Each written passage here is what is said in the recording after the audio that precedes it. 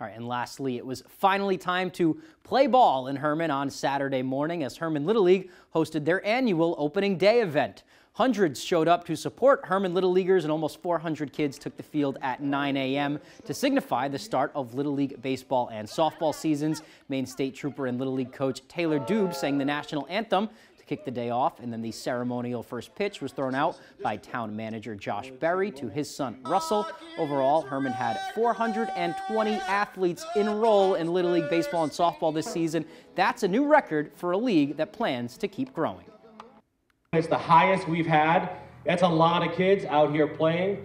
Uh, so it, it's nice to be able to invest in all the fields and time, effort that goes into making such a beautiful fields over there, and we'll continue to grow that over the years.